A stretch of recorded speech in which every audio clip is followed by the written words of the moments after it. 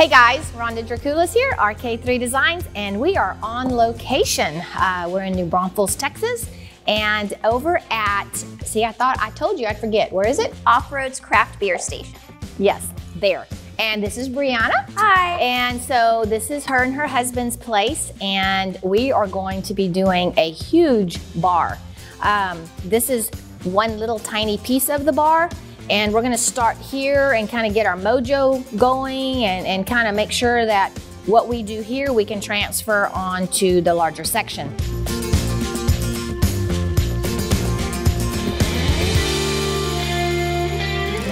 Are you ready to get started? I am. All right, so we're gonna mix up some black first. Uh, we need uh, eight ounces for this pour. And Brianna is one of my ex-students. She came to uh, our, our class, her and her husband, and um, she is super excited. This is gonna be her first, I guess, big pour.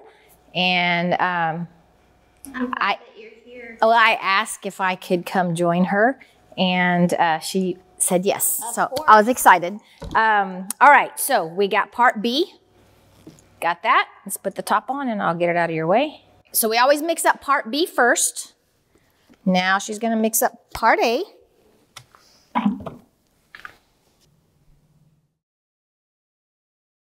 All right, so what we're gonna do is in our vision, we're gonna do a solid black background with a little bit of uh, the Stone Coat countertop dust, gold dust, mixed in with the black.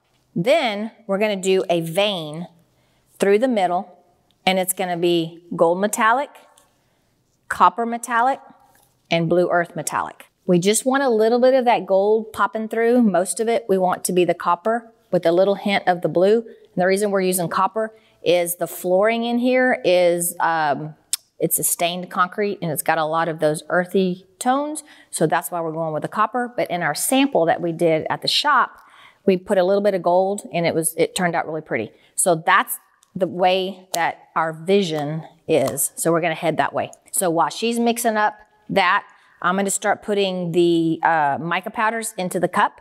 So um, when we stir it, it won't all be at the top and poof out. So while you're stirring, tell everybody kind of what this business, what y'all do with this business. Okay, so um, we specialize in craft beer um, with typically a little over 200 different selections at any given time. We have a bottle shop um, where you can get to go beers. Um, uh, and then we have um, about 12 taps. We are currently um, closed for our relocation and we are obviously renovating the new location and we're really looking forward to opening. So I'm thinking this is going to be a field trip from now on during our class. That's a great plan. We can just make this the art corner. Absolutely. So those of you that are interested in coming to our class, we're going to have a field trip to the microbrewery. Well, we do have brewery tours as well, so we have a we have a bus that we can come pick everybody up, Oh, heck yeah. bring them in. I'm thinking, yeah.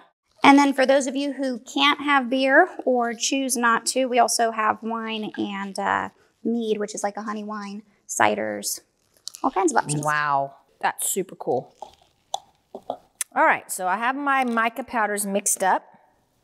Copper, gold, and blue earth. You can use a mixer with this. This epoxy allows you to use a, an electric mixer.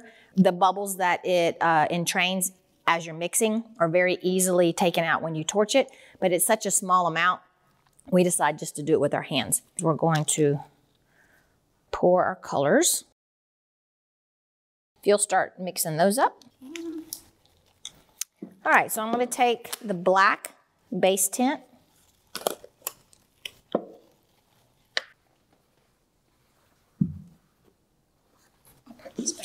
Okay. I know there's writing on this stick, and I know that as it drips off, I can't see through to the writing. So that's how I know I've got it opaque enough. If I wanted a very transparent tint, when I did this, I would want to be able to see the words on the stick, but we want it super opaque. So now we're gonna take the gold dust, which is sometimes referred to as gold fairy farts. We're gonna add quite a bit. Being that it's an opaque tint, it's gonna map. Yeah. It's gonna it's gonna mask quite a bit of what's in there. And the only time you're really gonna see it is when the light hits it just right. And it's gonna be really pretty. All right, so, and here we go. Okay, so it's a little bit cool in here, not too bad, but I wanna go ahead and torch out the material before we trowel it, just to kind of help it flow a little bit. All right, you wanna trowel? Sure. There you go, ma'am. I really like this device. I need to get one of Yes, it's pretty cool.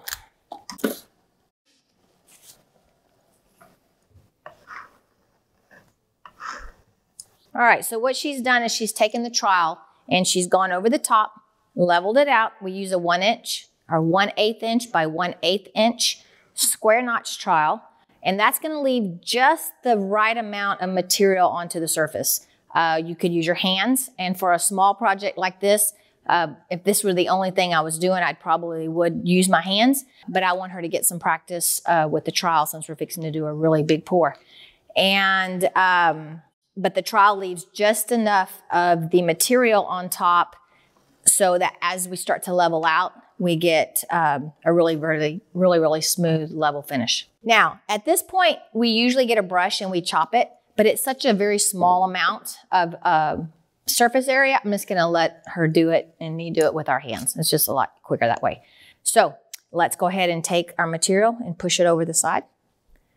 And as you push it over the side, use your hands Wow, that gold is really pretty. So we're gonna torch it out.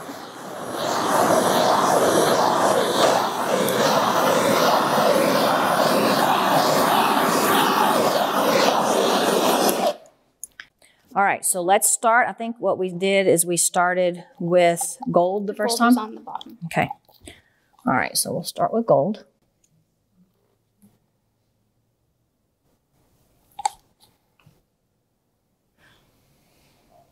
And then we put copper. I did copper next.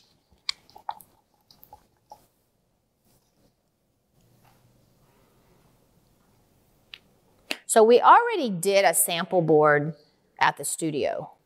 So we, we kind of have an idea of what we're wanting to do. We're just uh, following the same steps.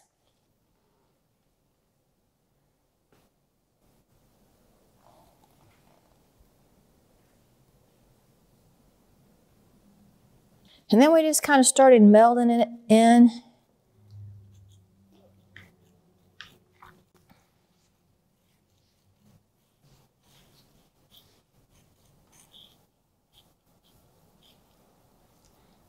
All right, so here we go.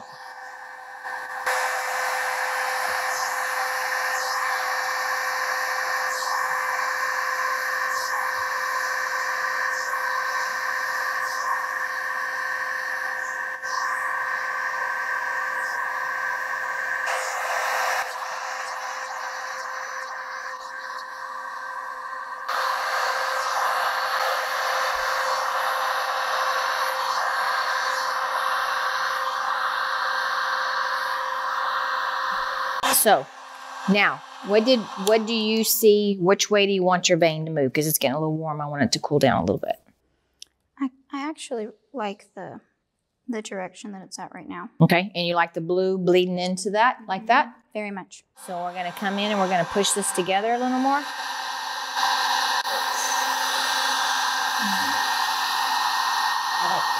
Mm. Okay, kind of like that. What do you think? I like it. I like that a lot. And it's gonna move. So we need to give it some time to, to do its thing. See these little fish eyes? Those little, they look like little tadpoles. Mhm. Okay, what that is, is your mica powder hasn't been stirred enough. So it's almost like cake batter when you're, when you're doing it and you hit the little dry balls. Okay. Okay. So I need to be stirring. That's, yeah. But it, it does give a really cool effect. Yeah. So it, you know, it, it doesn't bother me. I think it looks kind of neat. Um, but we're going to let this sit for about 15 minutes. We're going to let the epoxy move. We're going to let it kind of fight each other, all these little additives, and we'll come back and see where we're at. All right, so what she's wanting to do is she wants to get some effects, almost like cell effects. Um, so what we have is clear 91% isopropyl alcohol. And we're just barely dripping. We're doing it Uh, right here. on here. And what it's doing, it's causing some separation with the colors and kind of giving some neat effects. We're just going to do a couple of places first just to kind of see if she likes that effect. If she doesn't, we can always retorch, use the heat gun, move the epoxy again, and you'll never know that we did it. I like that look because it makes it look more organic coming across here. Because you know those cells at this point in the stage, because our epoxy is very new and it's very fresh, that those aren't going to stay like that, but it's it's going to keep that kind- almost like that two tone look. Yeah. Anytime you use alcohol, you do get surface tension, and all you have to do is touch it with your finger. I kind of would think you would do something right around here. There. Because that's just going to kind of make it look very, very natural. All right, very cool. Okay, so let's let it sit. We're going to let it sit now. We said that 10 minutes ago, but now we're really going to let it sit and come back and see what we got. Okay, guys, we uh, let this set about probably a good 30 minutes maybe. And we had some extra, uh, extra resin left in the cups that was tinted, the, the copper and the black. So I actually took a little paint stick, a little one, not the big one, and I just drizzled some down kind of to break up the colors and give a little bit of distinction. We, we, we kind of wanted our eye to have a little bit of distinction. So we did that. And we're to call it a day on this one.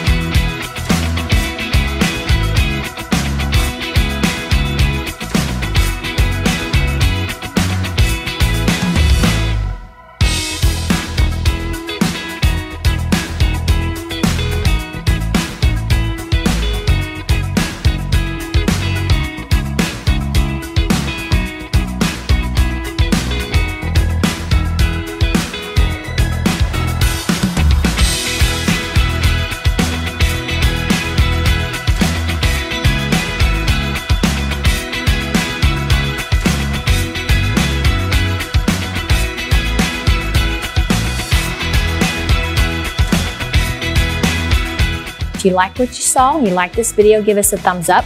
Hit the bell, subscribe to our channel, and leave some comments below. Maybe would you add a different color? Would you stop at a certain position, uh, certain place? Would you go even farther? Um, let us know. And I appreciate you watching.